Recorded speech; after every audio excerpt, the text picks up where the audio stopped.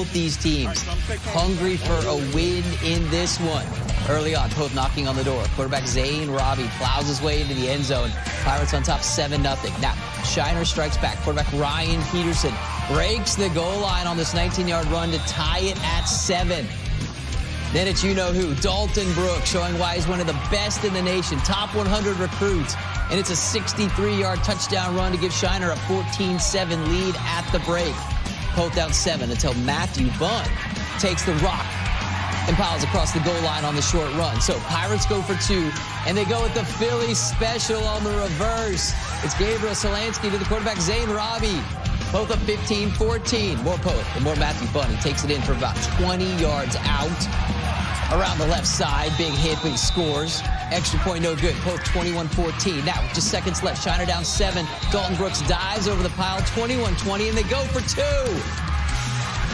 Yes, they're going to go for two. Here he is, working his way around the edge. Follow me now. This is to get into the end zone around the corner. So he's in. And it was a heck of a game. Because Shiner would do what they do best winning football games in the clutch. 22-21 the final score. A big decision to go for two late in that ball game. And Travis Buckner was with Dalton Brooks, the victorious Shiner Comanche after this one.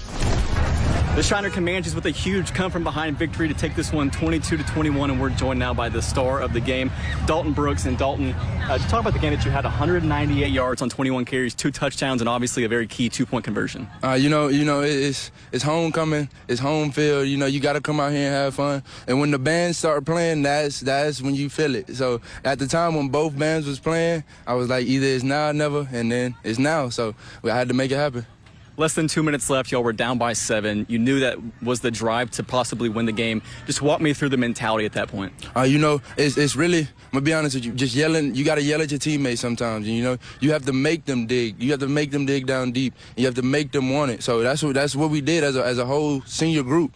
And uh, you see how it came out. I would think about 90% of the stadium thought you were going to be tackled for a loss in that two point conversion, but somehow you kept your feet going. Uh, what was it that just gave you the ability to to get into the end zone and give you all the lead? Uh, you know, I, I, I say, I'm, I'm honestly say experience. You know, them them coming and diving at my feet. I, through the whole game. Once you do that enough, people start to figure it out. And I figured it out how they were tackling me and just keep going backwards and turn on the juice. Do you think this can be a, a point in the season to look at and, and kind of start going in the right direction for this team? Uh, yes, yes. You know, everybody can say that, but you never know. But yes, I think it is. And you know, this team we have here, we can have something special, but we have to keep building it. Dalton, well, congratulations on, on the big win and obviously on the big night. We sure do appreciate you taking the time with us. Again, that was Shiner star running back Dalton Brooks on the 22-21 win over the Poth Pirates. And Shiner moves to 2 and 1 now on the season, and they're building some steam going forward.